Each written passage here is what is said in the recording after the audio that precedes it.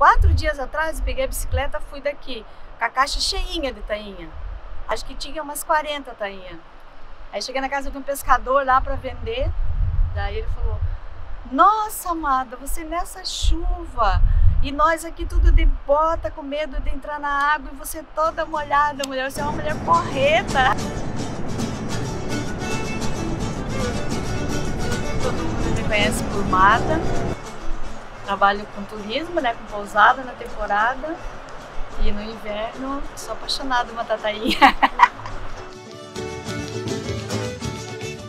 Trago as louças, panelas, que são para cozinhar de fogo. Tem que gostar, né? Para gostar de ficar aqui, assim, sem luz, sem internet. Muitas vezes viajei, chegando em Guaraqueçaba. De mulher é só eu, a Zica e a Clodicéia. Eu tenho coragem de entrar na água, assim, tipo, no inverno, frio, chuva. Esses dias atrás ficou quatro dias de chuva e eu de capa de chuva, daquela descartável, assim, sabe? Tipo, eu tiro, fico de camiseta, só de calcinha e vou pra água. Você tem que ir pra água e vai pra água, assim.